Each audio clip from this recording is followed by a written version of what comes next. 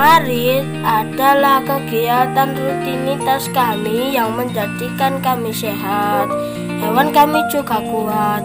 Kami bangga menjadi tukang ngarit atau perumput karena ini pekerjaan yang saya anggap halal.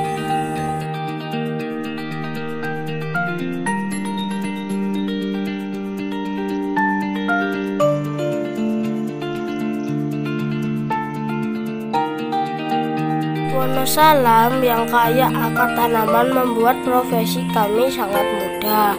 Jangan lupa ngarit atau berkebun di kebun sendiri ya teman-teman. Mandiri dan berdedikasi.